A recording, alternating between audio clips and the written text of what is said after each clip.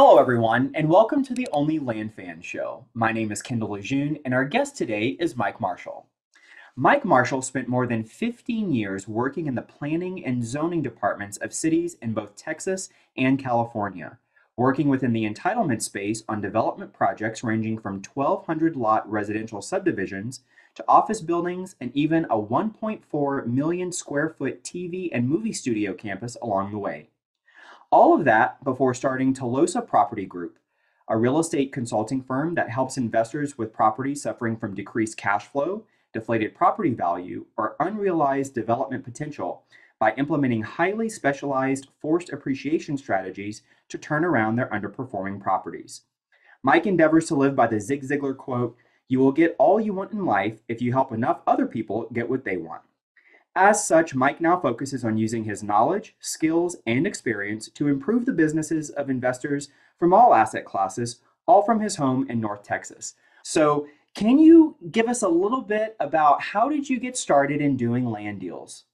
Yeah, absolutely. I started in real estate. I didn't really start. My father started in real estate. And so my first experience was like a 12 year old kid picking up shingles from re roofing projects and things like that. And I was very much into helping him when I was a kid. And that was my first exposure to real estate. But then fast forward to after college, I got a job um, at a local city in a completely unrelated um, profession, essentially. But I was always um, interested still in real estate. And there was this whole profession called urban planning, your planning and zoning office, essentially. And so I started working in that office and I started working in jurisdictions in California and Texas. And ultimately, what happened is I ended up helping some of the people that I was um, helping as in my job, I was helping them on other projects in other cities. So I started consulting with them. I built a consulting business to the point where I could step out on my own. And then from there, I started doing my own deals as well as helping on the consulting side as well. That is absolutely incredible. And your bio says that you were in Texas and California. Now you're in North Texas. How did you make that leap? Yeah, we from California, we came to the Austin area probably around 2007 or so. And then we ended up moving back to California, just a lot of family stuff going on. We ended up moving back and we had kids and we wanted to give our kids a different kind of life than what we were experiencing in the busy part of california. So now we're um, east of dallas probably about half hour and it's a lot calmer which is nice. Awesome. Welcome back to texas. Yeah. Uh, so can you talk to us a little bit about how did you learn to do the specific types of deals that you specialize in? Did you have a mentor? Did you have a coach yeah, honestly, it was like on the job training essentially. So when I was working for those jurisdictions, I was processing those projects from the public employee side of the equation. But I always had the mindset as an investor, and I always would look at it and I'd see this gap. There was this disconnect between investors and developers, and then the planning office. And it was like they didn't know what I knew, kind of thing. And yet, planners that I worked with didn't have an investor mindset at all. And so I was just able to take these this knowledge that I had and apply it to the benefit of these investors and developers. And so I just would see opportunities where a lot of people didn't. And that's like the secret sauce is that we're able to go in to a variety of jurisdictions and really find where these hidden opportunities essentially are at. Yeah, I love that. So drawing on your professional experience, bridging that gap, talk to us a little about your very first land deal as an investor where you were able to apply all of this knowledge? Sure. The very first land deal I did, I was just saying to myself, I had my consulting business going, and I'm like, okay, I'm just going to try to flip a lot and see what happens. And there was just one of these desert lots in Kern County, California. And I remember it very distinctly because I ended up selling it to this lady that wanted to use it for filming purposes. And she wanted to do all sorts of like explosions and stuff like that out there and and she wanted to do it before buying the property which was really interesting too. And so as my first foray into the whole land flipping thing. I'm like man is every one of these going to be as interesting and colorful as this one? And so that was kind of like my first foray. That wasn't any like there was no forced appreciation or subdivisions in that one. But moving forward from there my first one was a four lot subdivision um, in um, like a rural area of a local city. And it was basically 14 acres. We split it into four lots and there's some things that you can do in California when you do four lots or fewer, where you can streamline the process that a lot of people don't know about. And we were able to do that really quickly. Wow, that's incredible. And so, do you remember the numbers on that subdivide deal?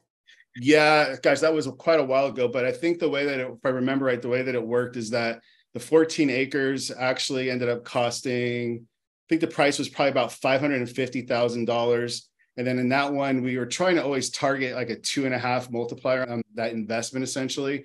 And we got really close to it. We were like a little bit over two times on it. And there's things that we could have done better to make more on it. Ultimately, we could have like negotiated down a little bit more, things like that but um, that was our first one that we did and that one worked out really well and that just parlayed into other ones and so we would do these deals either as a consultant at times and then sometimes we do it as an owner and principal in the deal and so we'd serve different roles as times went on yeah so whenever you are were looking for these types of deals were you essentially acquiring them by uh, partnering with your consulting clients or were you actually going out and finding these properties yeah, it was a combination of things. So I would go out and find them, and then I'd go back to my consulting clients because I know they had deeper pockets at the time.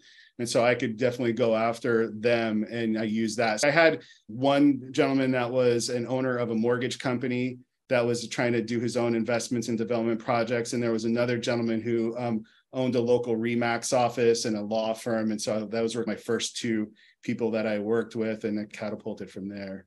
Yeah, that's very cool. So you've made in the, at this point in your journey, you've made the decision. I'm going to start doing my own deals as an investor, right. and I'm going to start looking for properties. Now, obviously, you had this knowledge and experience that you could see opportunity where a lot of other people couldn't, right? So, how did you go about looking for these properties that could make a potential value add type deal? Sure. Very first off the beginning, it was really like off the MLS and then making um, having relationships with local realtors. That was the way that we first started, and that's what we do still today in large part. And so that was the major push was in that. And so we just would create relationships with them. We'd find properties that were listed and we would try to find out, like, okay, how can we improve it? How could we do something to force appreciation? Or why is this property sitting there? And then trying to fix the problem. And that was our approach. And we did that for quite a long time before we got into doing direct mail and all those kinds of things. And now where we're at today is that we really don't do any of that outbound marketing. It's a, other than trying to create more relationships, but a lot of it is inbound from different different relationships that we've established. Yeah, relationships. I was just having a conversation about this the other day. Relationships really the lifeblood of our business. Whether it's on the buyer or the seller side, relationships are super important.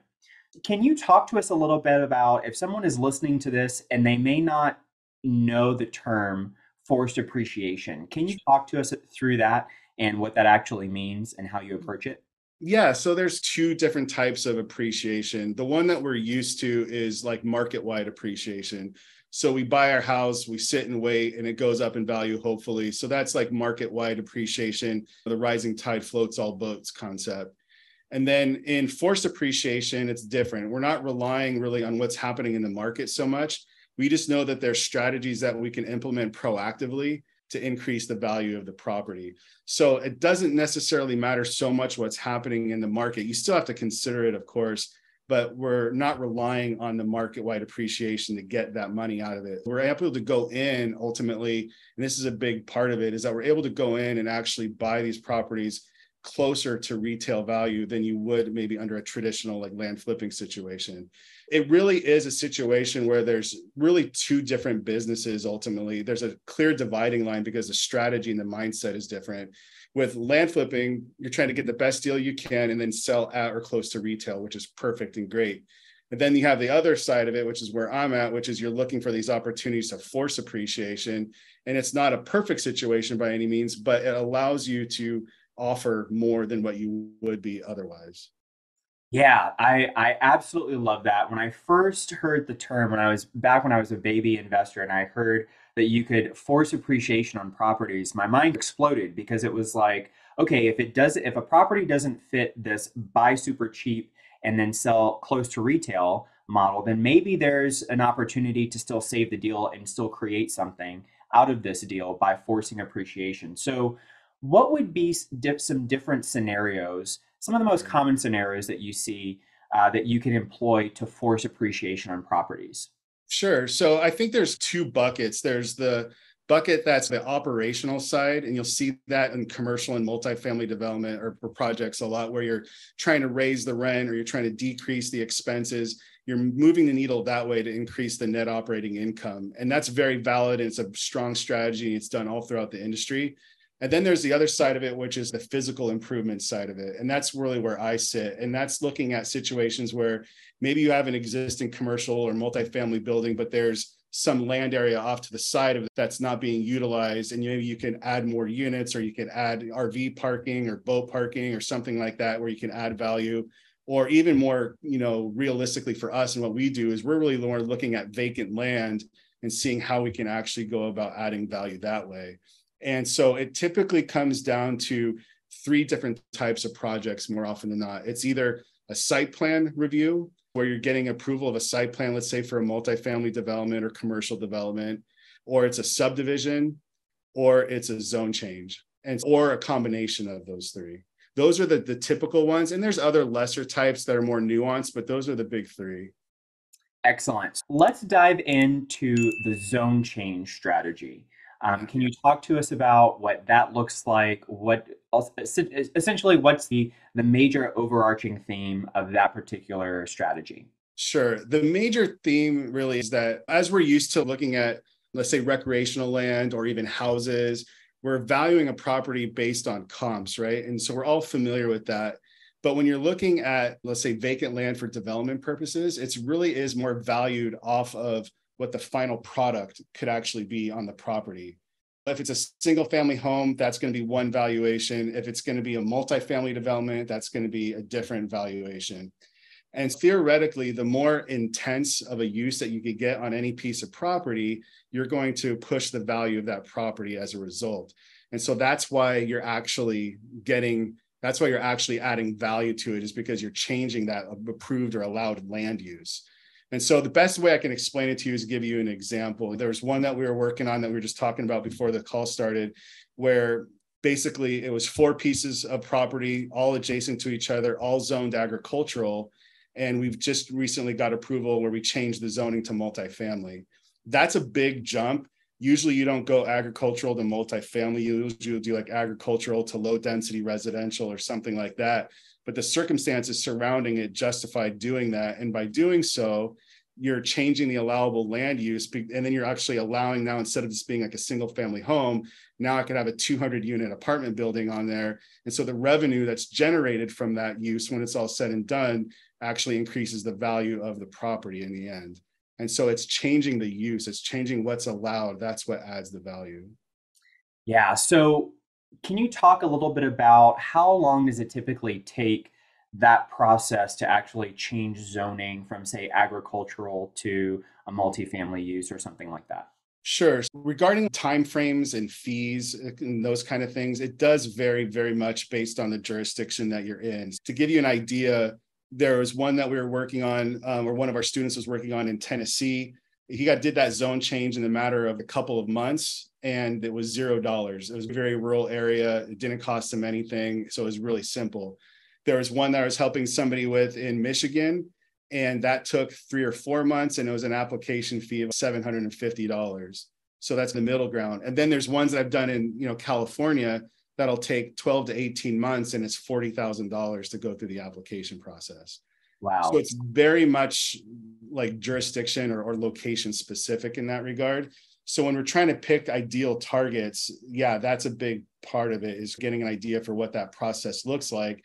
And then that's where my experience comes in is really being able to streamline that and make it go as fast as we possibly can. Yeah. Okay. So can you talk about what are some, give us some examples of what a, a rezoning force appreciation might look like in terms of the numbers. So it was worth sure. this before, and now it's mm-hmm. worth that now. So again, just using that example as referring to the agricultural, the multifamily, I'll use that as an example, but just understand that this one is pretty extraordinary. It's not the norm. But in that example, it took us probably six to seven months to go through the rezoning process. And the, the current value of the property, all four of them combined was, I think, about 1.8 million for all four of them. And then the total valuation after the rezoning is approved, not the site plan, but just the rezoning itself, that actually changed the value to where I think it was 3.2 million. Wow. Wow. That is incredible. That is incredible. Yeah. And talking about the norm, what is some of the what are some of the norms that you see? That was an extraordinary case. Can you yeah. give us an example of what a normal case might yeah be? yeah absolutely. So like a more normalized one might be one that's let's say it's zoned for r1 so it's zoned for a single family. Let me change it actually. You have a single family house that's zoned for multifamily let's say. That is not a zone change situation but it is still what we'd call an underutilized property. It could be like a, a multifamily building but it's really right now is a single family house that's what we would call a site plan review, where we go in and get the site plan approved for the actual re- uh, multifamily development. Something like that would do like a significant bump. If it was a single family house, and then we ended up getting, um, there was one in particular I can think of where it was a single family house. There was then it was getting approved for 14 townhomes. The single family house sold to us for $850,000 then the total valuation once that site plan was approved went to 1.25, if I remember right. So that's much more modest, but it still was a significant bump for us to be able to make it worth it. And that was a site plan review. That wasn't a zone change. A lot of zone changes will add more value. When you're looking at biggest bang for the buck, that's certainly in the zone change arena. That's where you're going to get your biggest bump. And we'll probably see some that are, you know, in the realm of maybe, I don't know, mid six figures, something like that in terms of profit. That's pretty typical. Wow. But again, you're dealing with a little bit more complication, right? Because that's the other element of this is that there is very much a, a political element that comes into it because to get these approvals, you're going before the planning commission and city council, and you may get opposition from the public, things like that. So there are some things that you have to certainly overcome. Yeah, that definitely doesn't sound as, as simple as throwing a property under contract and then just wholesaling it out. Exactly. No, it certainly isn't. But you can certainly you can there's things that you can do to make it like easier. And we're talking a little bit bigger ones, but there's ones that are more like subtle that you can do those kind of things with too. You mentioned site plan review. For mm-hmm. those of us that are listening to this and have never heard of that, can you talk to us about what that is? Sure. Yeah, absolutely. So a site plan is basically imagine if you're like if you have a drone and you're looking down on your property, right? And instead of it being like a photo, it does an actual engineered drawing. So it's showing like the property lines. It's going to show the, the proposed building footprints. It's going to show the setbacks from the property lines to the building. It's going to show parking stalls. It's going to show maybe air conditioning units. It's going to show all of the improvements to the property on this one plan as if you're doing a, a, downward look from a drone and it's a drawing like i said. And so that's a proposed site plan and it has to meet a whole myriad of different standards. Architecture landscaping parking you know lot size requirements all sorts of things like that have to be met. And those are all things that are reviewed by the county or the city. And ultimately what you're trying to get to is a site plan that's been refined enough that it meets all the city standards and then it gets approved and then the next person in line the developer or builder could come in and actually get like the engineering permits and then the building permits and actually build the property. Got it. Got it. So if someone's listening to this and they're saying you know what? I, have had several uh, deals under my belt whether it's flipping land or wholesaling land and i'm really interested in getting started with uh, some zone changes uh, mm-hmm. what would you advise them to do? How would they go about finding the types of deals that would work for that particular um, type of deal? Sure. I think there's some tips that I could give you. One of them is if you've ever looked at a zoning map, there's all these different colors, right? And these different colors represent different zones. And where the opportunities tend to be is where you see two zones butting up against each other. You might see red and yellow right next to each other. The red might be commercial, the yellow might be residential of some kind. Generally speaking, you have a better chance of getting properties rezoned when the, the zoning that you're trying to zone to is located next to the property or across the street or very close proximity. And without them approving it that way, if they were to approve like these properties to change the zoning where it's not adjacent to the current zoning you're trying to go to, it ends up being something they call spot zoning. And spot zoning is imagine you just have a commercial lot in the middle of a bunch of residential areas. That's something that they try to avoid as much as possible because it just creates inconsistent planning, inconsistent development patterns. And so they really try to do the best they can to stay away from that. And so if you're like on a single family zoned lot, but you're located right across the street from a multifamily zoned lot, you have a good chance of you know upzoning that property to resident or to multifamily in that example. Proximity is a big thing for sure too.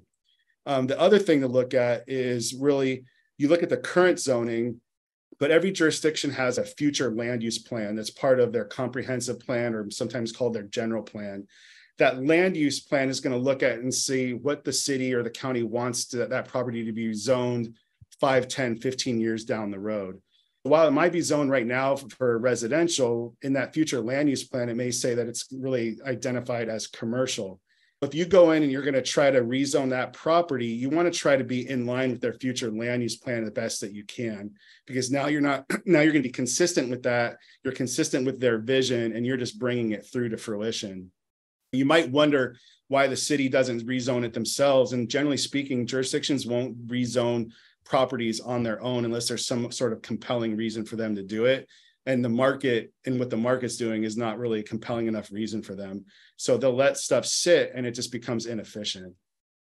That makes a lot of sense. So let's say someone's brand new to this. They are hearing this and they're saying okay i'm going to go and i'm going to look for two zones that are close to that are butting up against each other where do they find that information? Where can they see like a zone map for example? Sure. So if you go to most jurisdictions you can say city of dallas gis interactive mapping. You can just google that and they'll usually pull up their gis map for that jurisdiction.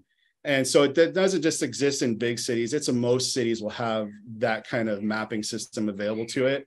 And then ultimately in that plan there'll be a layer where you can turn on the zoning layer and that's the best scenario when you find that kind of tool that's available to you. And matter of fact we use the local gis more often than we do some of the other tools that are common within the space just because they'll have more accurate information that's more timely etc and then i'd say that even to that extent too if we're just looking at markets to try to go into if they don't have good interactive mapping systems, sometimes we'll just walk away from that jurisdiction completely just because it's an indicator of how advanced they are. It's an indicator of maybe how easy it's going to be to get information and get stuff done. Unless there's a compelling deal in that jurisdiction, we'll top a lot of times we'll walk away from it and just go to the next one that has a better system for us to do the research on. That's where you would want to go to get the zoning information right then and there. As far as the future land use plan, the on the zoning and planning's website, they'll oftentimes will have a link to that comprehensive plan. And inside of that document, you'll find the future land use plan. Excellent. Would the strategy be to uh, look for areas on this GIS map, look for uh, those specific qualities that you just mentioned, and then look for on market deals in that area? Or how would you go about sourcing your very first zone right. change type property. So you certainly could do that where you go and you create your hit list and you have a list of the properties and the property owner information and that kind of thing. And you could create your own, you know, direct mail campaign. You could certainly do that for sure. But this is a much more a laser focused approach. You're not casting the wide net. This is more the sniper approach to everything. And so typically what we would say is that we would go and get a local um, agent and we'll actually talk to them about, hey, here's the targets that we're looking at and we're going to ask them to either do one of two things either one approach the owner directly with an unsolicited offer. That's one way to go. Or the other way to go which is works pretty well too is that you go have the agent look up who the agent was that sold the property to the current owner. They already have a current and existing relationship with that person from their past business that they've done so we'll actually have our agent work through their agent to get an offer to them because there's already an established level of trust that's there. And I'm not trying to just be Mike off the street kind of guy with some offer. It's going to come from somebody that they know and trust. And that's why we'll do it that way a lot of times. Yeah, that's a really good piece of advice. So if someone's looking for these types of deals, let's say they find a deal, they're working with an agent can they pay up to retail price or what sort of your criteria for how much you'll pay for a property based on what you can get out of it after the zone change and how do you go about finding that information? So we'll essentially try to again at least two and a half x what we're doing as far as our investment. That's the goal for pretty much anything. But a lot of times what we'll do is we'll actually go and get um, a, an appraisal done So we'll pay for the couple thousand dollars for the appraisal. And what the appraiser will do is they'll give you two things. They're going to give you the current valuation of the property as is, as they normally would with an appraisal. But then they'll also create a hypothetical valuation based on the rezoning of the property. So you're going to get this document, this appraisal that comes back that's going to basically be a before and after picture of what the valuation of the property could be. And so that's usually what we use as our basis, and, and we'll use that as justification. But then we'll also work with brokers that are connected, say, to multifamily developers or whatever, and we'll work with them on trying to establish a proposed valuation too. But the really what it is that appraisal is like a, a first step or a first glance to make sure, okay, is this really worth moving forward with or not? You could go and use the broker instead of the appraisal, but we like using the appraisal because it's just something that's a little bit more tangible and solid at that point. Yeah, that's great. And so what at what point do you get an appraisal in that mm. particular process? I'm sure you're not just paying thousands of dollars for appraisals on every potential property. But at what stage do you do that in? Yeah, great question. You know, we go through all of our due diligence steps and then what we'll do is we'll get the property under contract. And then the one difference too is like I said, the one downside to some entitlements is that it takes longer. And so one of those areas though that's really helpful to create more time is in that due diligence process. Instead of us looking for 30 days or 45 days of due diligence, we're out like 90 days or sometimes even longer. During that due diligence period is when we're actually paying the money for that appraisal to get done. Got it. So you lock it up under contract first, and then part of your due diligence is getting the appraisal. Correct. Can you talk a little bit about your due diligence process? What types of things are you doing during that particular phase mm-hmm. um, of, of that process? Yeah, absolutely. So we do this for our clients too, where we're looking at a property and we're saying, like, hey, what's the potential of this property from a variety of different angles? And I was mentioning before, the three buckets that we look at more often is like subdivision, site plan review, and then rezoning. And we'll look at other opportunities too, but we're going to look at the property and look at it from an opportunity perspective. What are the opportunities that are there? And then we're going to look at it in terms of what are the constraints that are associated to the property. And so those are the two sides of the due diligence from uh, for our perspective. And we have a due diligence checklist that we use, everybody else does, but it goes through everything from what's the current zoning of the property, um, what's the adjacent zoning of the property, what's the current allowable land uses, what are the allowable land uses of the adjacent properties. This is stuff that we're doing specifically for rezoning. Um, if it's stuff for a subdivision, we're looking at okay, what's the minimum lot size? What's the minimum lot frontage? What's the uh, maximum allowable density? That's something that's applicable in more urban settings than it is like in rural land. But so these are some of the things that we're looking at. And so we're going through that due diligence process before we get all under contract. So once we have a series of green lights and we're feeling good about our due diligence, then at that point we're going to set up a meeting with the um, local jurisdiction for what they call a pre-application meeting. And the goal of that is to be able to really identify any red flag issues that we didn't catch as part of our due diligence, and then see if it's a, something that we can actually uh, mitigate and be willing to move forward with. Hey there, land fans. If you're enjoying this episode and would like to see more episodes like this, please be sure to let us know by liking and subscribing below. Excellent. It sounds like there's a lot of different steps in, in the due diligence process once you lock up this property under contract. What are uh, some typical uh, deposits that you're seeing for these types of deals? Is it 5%, 10%? What's industry standard for these kinds of deals? Oh, this for um, earnest money? Yes. Yeah, probably two and a half to three percent. These are bigger dollars sometimes, so that's really what is, does apply. So that's usually typical. Got it. Okay. And is this is this money refundable? Let's say you hit a red light yeah. and you're like, oh, wait a minute, we just dropped a, a few hundred thousand here on this property, and now it's not going to work. So how how does that work for you guys? Yeah, so the way that we'll do that is say, all right, if our total earnest money deposit, I know is like fifty thousand dollars, let's say, what we'll do is we'll make a portion of that due at contract signing, and then we're going to make another portion of it due at another benchmark, and then maybe the last portion due at like closing or something like that. So we're setting up these logical benchmarks, and they're usually tied to um, submittal to the city for that proposed project. Once we submit the application, then we're going to have another amount of that due and it's going to go hard accordingly. Ultimately, we're not going to get out like completely free, but if we stage and phase that money in, then we're actually giving us some some sort of protection. Yeah, that makes sense. That's a really great idea. You mentioned earlier, as part of the due diligence process, the sort of two different phases, and you mentioned the constraints that a property may have. Can you give us some examples of what kinds of constraints uh, are possible? Sure. So there's the ones that a lot of you are already, you know, familiar with, you know, wetlands and FEMA floodway stuff, maybe topography. These are all ones that we're all very familiar with being in the land space. But when you start looking at entitlements, there's other things that are coming to play a lot of times too. For example, we think about utilities, and a lot of times we just look at it from the perspective of is there utilities at the front property line? Yes or no. That's part of the equation. So you hope that they're there. If they're not there, how far away are they? Do I have to pull those utilities to the property? And if so, how much is that going to cost? So those are things to consider. But then also more importantly is not so much the presence of the utility lines, but it's actually the capacity of the system. And so you may have sewer lines that are there, but is there enough capacity to facilitate your 100 lot proposed subdivision? And sometimes there isn't. And so you may have all the zoning in play to do 100 lots, but there's only capacity for, let's say, 50 lots. And so then your options at that point are to be able to either upgrade the infrastructure or to take a smaller project, at which point you may have to go back in either instance, you may have to go back and renegotiate your price. So there's things like that come into play. There might be like environmental stuff. There might be protected tree species. And if you're trying to design, you know, a project, you may have to design around those tree species.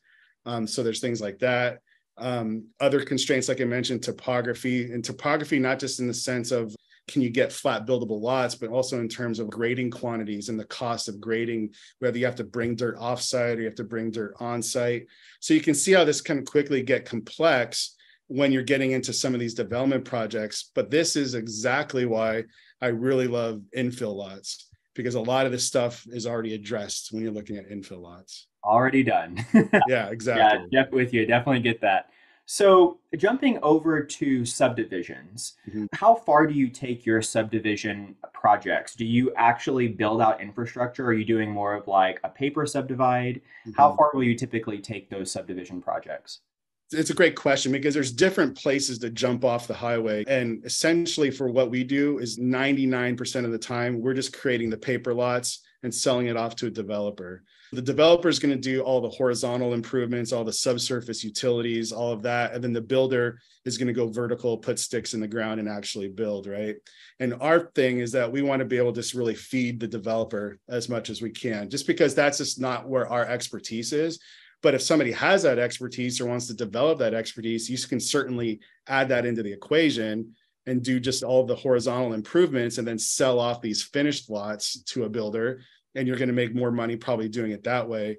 But for us, it's about focusing on our genius, doing the thing that we do well, that we know how to do well, and just keep repeating that as much as possible. Yeah, lean into your lane. I, I yeah. definitely get that. Whenever you're doing subdivides, are you finding that most of your buyers for your subdivide projects are developers where you're actually, let's say, taking a large, large acreage property, you're subdividing it out on paper and then selling that whole plan to a developer, or are you subdividing it on paper, maybe cutting up into parcels and then selling off the parcels to individual retail buyers? Good question. So it really does depend on the size and scope of the project. And more often than not, we try to fly under the radar and do projects that aren't like controversial or really require public notifications or anything like that, or public hearings. We try to be as quiet as we possibly can. So we tend to be where we're selling either to individual people or it's going to be sold to smaller regional type of builders. So not your DR Horton and Lennars and all of them. It's going to be some more smaller regional builder that's happy to pick up 5, 10, 15 lots.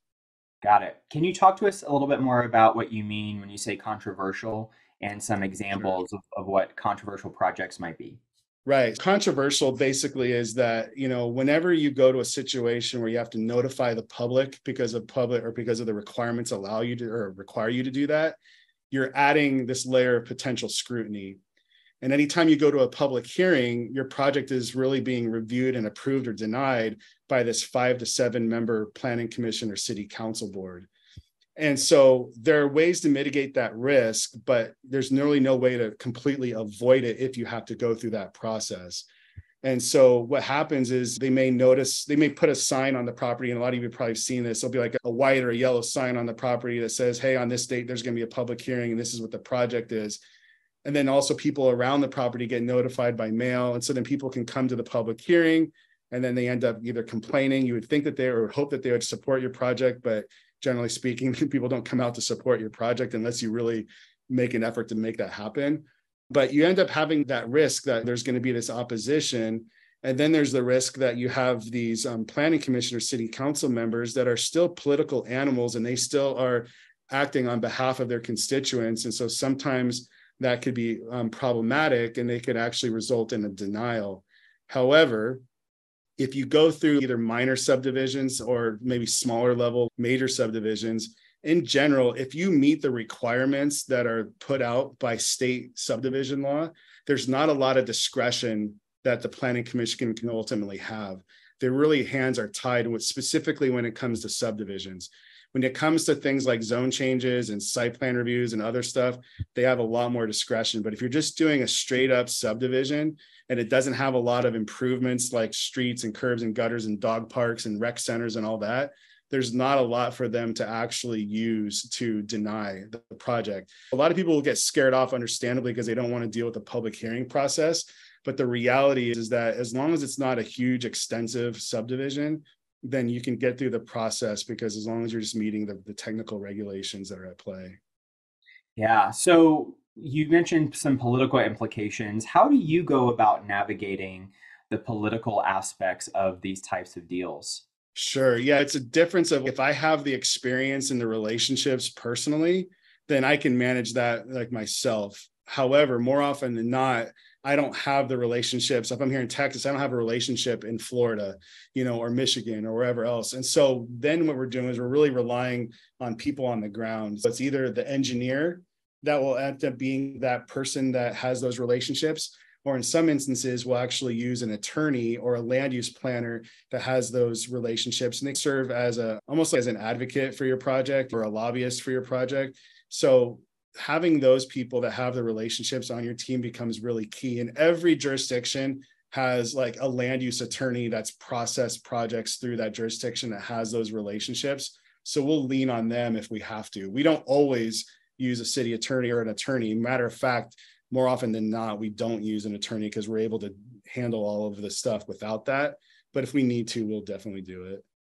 Excellent. If someone is interested in getting started in this business, they're listening to this and they say, okay, obviously, I need to keep my eye on the political uh, aspects of this as well. In addition to engineers and connected real estate attorneys, how can they go about starting to develop those political relationships that would be beneficial to them in their business? Sure. So I would say that you always want to be, no matter what market you're working in, you always want to be looking in your own backyard. You want to be paying attention to what's happening there. So looking at city council and planning commission agendas, understanding what projects are being considered, even watching the hearings on the, on the internet yourself so you can get a sense for what's going on there. These are all really good ideas. Um, and then ultimately, if you want to create those relationships, you're going to have to go and, and, meet these people and press the flesh, so to speak. And one of the ways you can do that is a lot of um, city councils and planning commissions, they have um, development subcommittees. And so if there's five people on the planning commission, two or three of them might be on this subcommittee. And you can actually request meetings with them and say, hey, this is who I am. This is what we do. We're looking at doing these kind of projects in this area. I just wanted to introduce myself and get any feedback or thoughts that you guys have and these are some of the projects that we've done in the past. So it's like an interview in a way but they're going to meet with you because they have an interest in what goes on in that city obviously. And that's part of their job just in terms of being representing their constituents.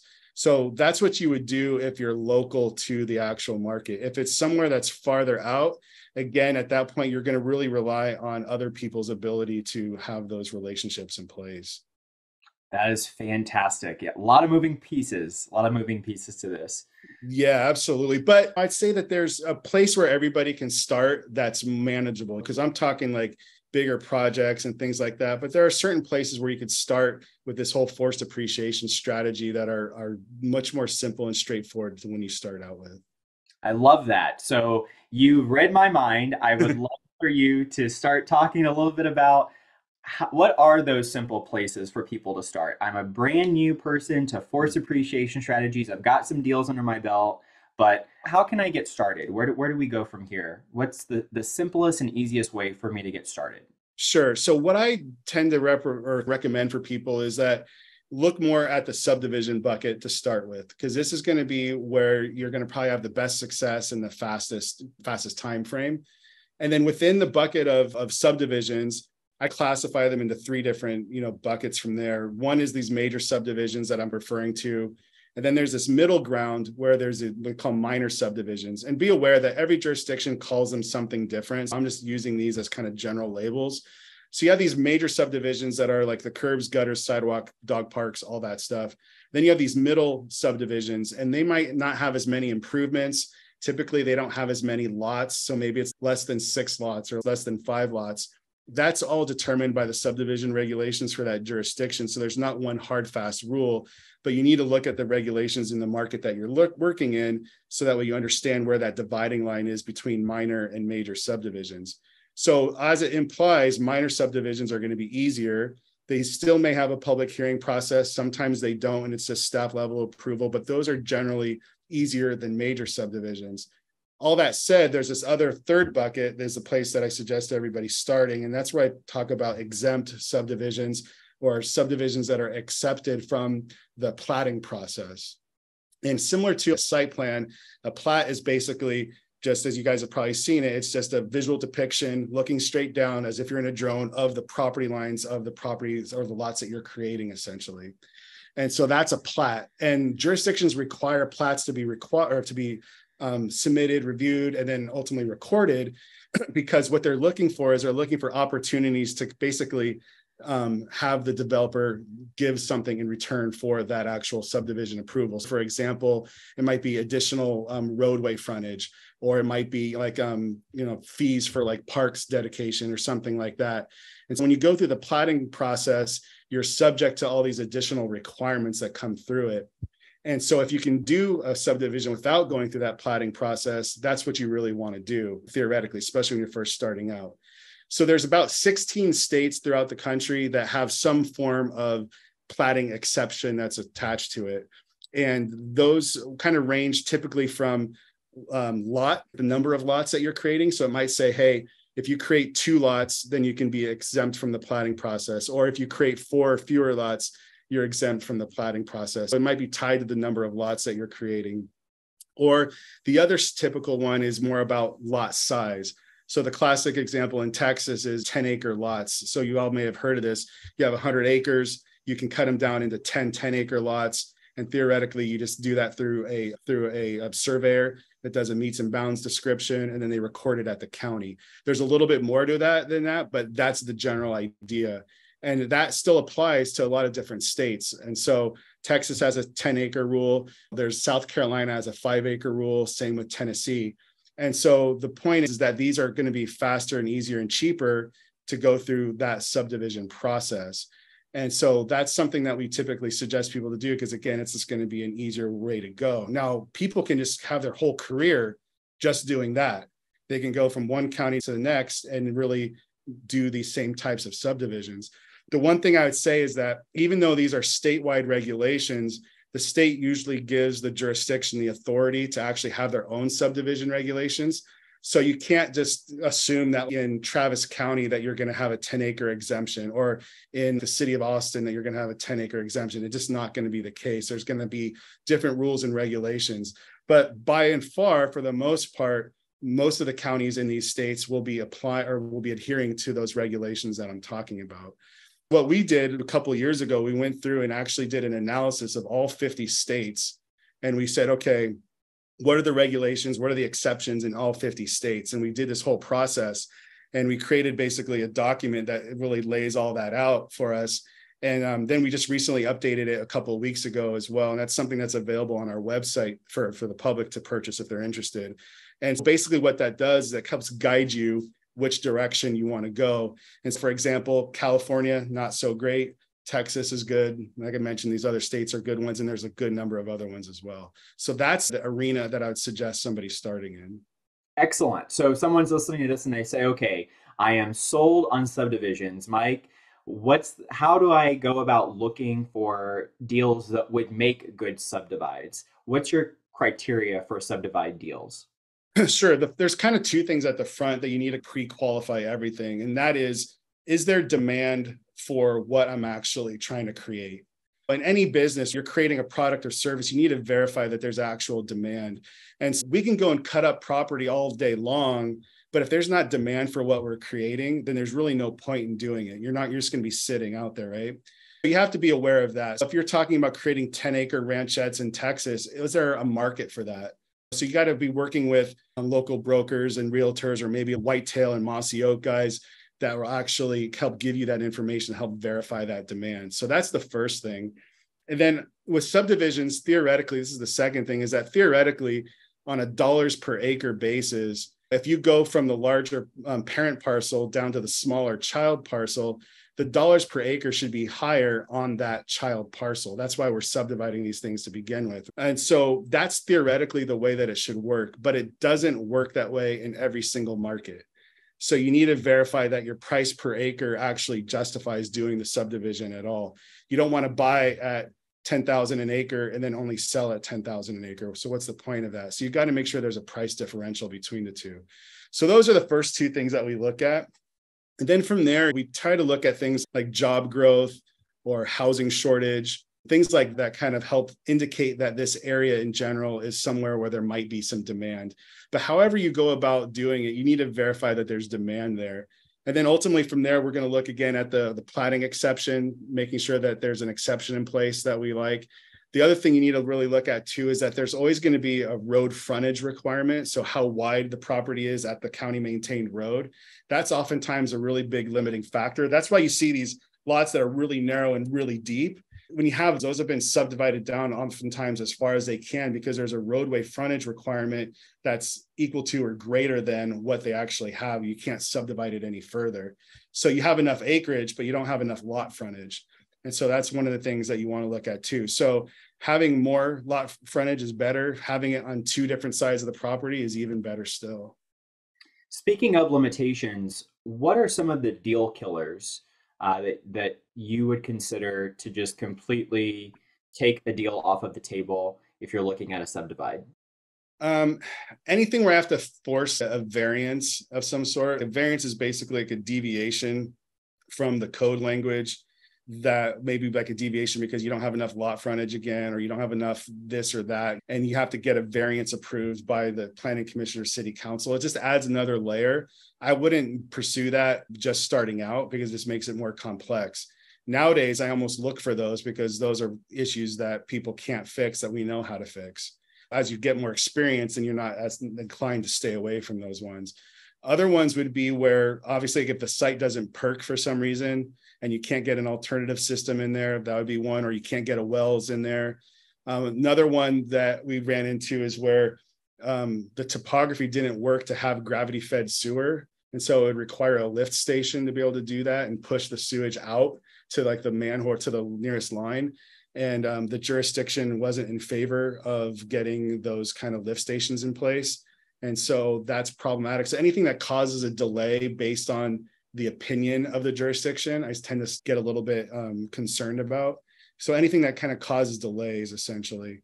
Um, so these are some of the things that right off the top that I'll look at and go, yeah, that's really not something that we're interested in. Um, but if you're just doing a very first cursory five second look at it, it's the same type of stuff that you would just if you're flipping a lot. That's, is there a huge amount of wetlands? Is there a lot of like floodway? Is there a railroad that goes through there? The other thing that will come about too, I highly suggest people do is really always look at doing like a preliminary title search to see about easements that might exist on the property that you're not aware of and because those easements can actually become problematic for somebody to actually go and build out and develop the property. And that's especially true when you're getting more units on the property than just like one or two houses or something like that. Yeah that's really good advice. So there's been a, a lot of talk in the real estate industry about market shifts and changing markets. Where do you see the market going now? And how do you foresee that affecting zone changes or subdivides yeah, I think it's interesting because it's different than it was back like in 08 and everything like that. I think now the big difference is, is that the housing shortage is just exasperated the problem so much where we, we can't build our way out of it for any time in the near future. And that what that's creating is it's creating situations where in a lot of states they're creating legislation that's going to streamline the development process and get units on the ground. That's what they're trying to do. So they're trying to make the process um, faster. They're trying to make the process easier, where the state says, hey, if you do this and this, then you can get your project approved really quickly without maybe going through a, a hearing or whatever. So they're trying to get units on the ground. Local jurisdictions are fighting against that a lot of times because they feel that their their authority is being taken over by the state. But regardless of that, there's just a huge momentum to get housing units on the ground. And so I think what you're going to see is that maybe instead of like subdivisions with like 7,000 square foot lots, the standard, you know, housing development, you're going to see more dense development. So you'll see multifamily, you'll see um, townhomes, and then you'll see the whole build to rent model too going on a lot too. And so you see that here in Texas for sure. And so I think you're going to see that the demand is still there. And so, yeah, the, the rates will have impacts and everything like that, but it's not as though it's all going to like come to an end. If you're anywhere near in Texas or if you're up here in DFW, you'll see it all over. There's houses that are still being built. And yeah, we're still probably one of the fastest growing areas in the country right now, but still, there's still development going on. There's still building going on.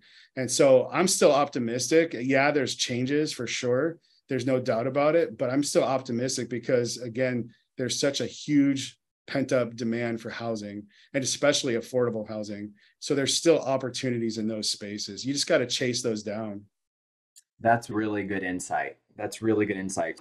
In your opinion, what is something that not very many people are talking about in the land industry that we should be talking about right now? Ooh, that's an interesting question.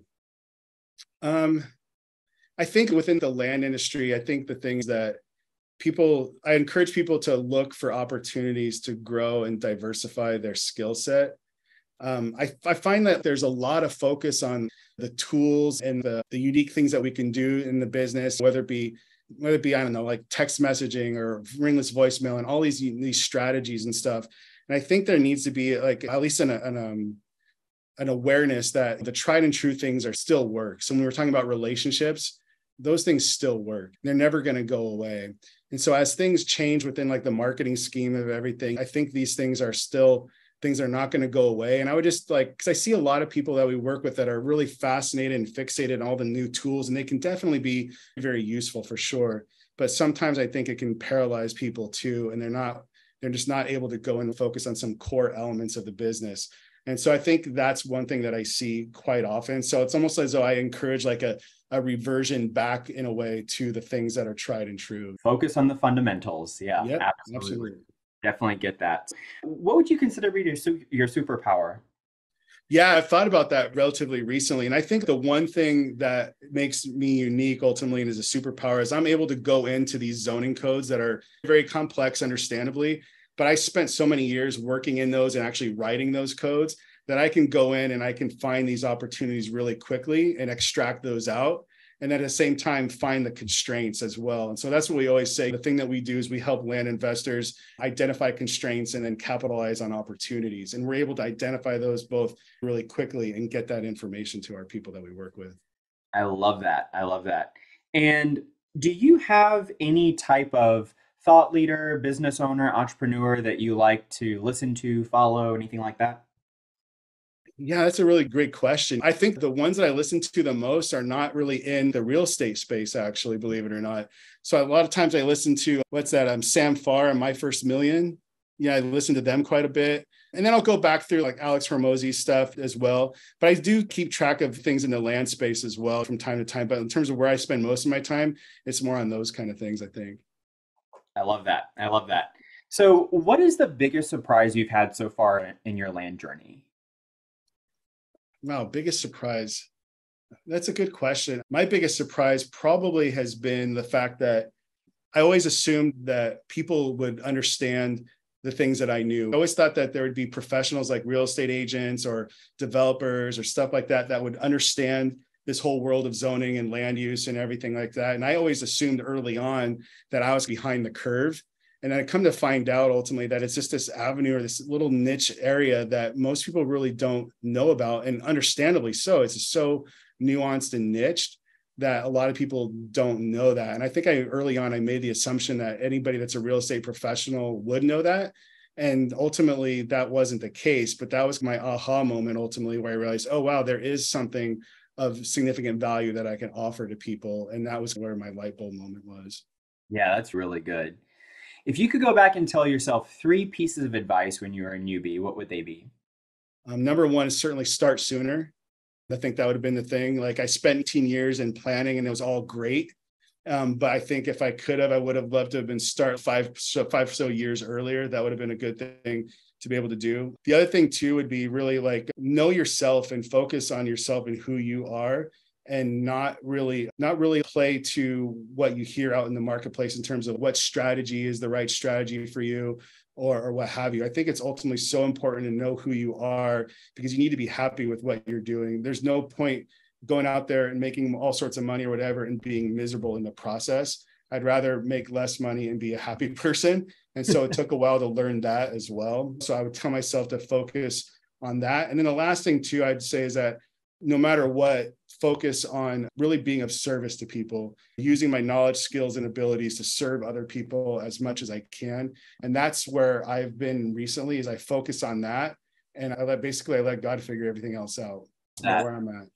I love that. And that it, it's certainly evident coming back to your bringing it full circle, that Zig Ziglar quote in your bio. If you can help other people get what they want, you'll get everything that you want as well. Absolutely. I see that a lot in people that do podcasts and stuff, though, too. They have their land business going, but this podcast and that avenue serves as this way to serve other people. And I think that's really cool, too. Absolutely. It's definitely a passion project and of service of others for sure. Yeah, absolutely.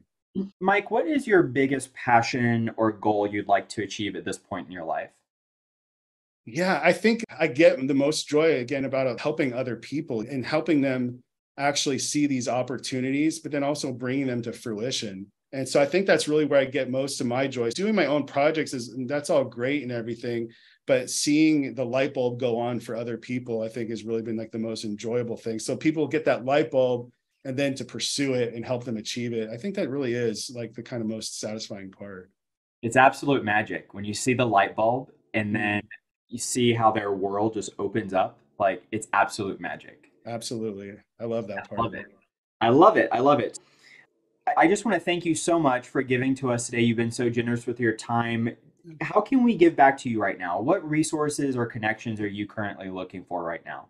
My whole thing is just really if you've heard what I've said here today and you think that I can help you in any way, just reach out to me. And I'm certainly happy to do that as best I can. I would just encourage everybody too that what I hope out of these kind of calls is that now you start looking at land through a different lens or an additional lens. Look back at your existing inventory and say, hey, is there an opportunity to subdivide, rezone, or what have you? How else can I look at this property in a different way? And if you start with that mindset, then you're going to be uh, really well off. So instead of closing yourself down and saying this can only be this, ask yourself, how can it be something else or what else could it be? And I would just encourage people to do that. And if you have those kind of things, come and chat with me and see if there's a way that I can help clarify and help make it happen for you. I love that. And how can people reach out to you? How can they get in touch with you? Sure. There's really two ways. The best way would be just email me at mike at tolosapropertygroup.com or you can reach out to me on Facebook and our um, group. It's Forced Appreciation Strategies. Excellent. Thank you so much for that. Thank you, everyone who joined us, Mike. It has been an absolute pleasure. You've just been so generous with your time and information, and I hope everyone got as much value out of it as I did because that was absolutely incredible. You guys check out Mike. Go in. Uh, you want to work with him? Make sure that you reach out to him. Some wonderful uh, opportunities there. Until then, everyone be safe Take care, and we'll see you in the next one. Thanks so much. Bye-bye. Thank you. Bye bye. If you're interested in hearing from other six and seven figure land flippers about how they built and run their businesses, then check out my group Only Land Fans, where I do a live interview each week inside the group. You can grab that link at the description below. Until then, be great, have a great week, and catch you in the next one.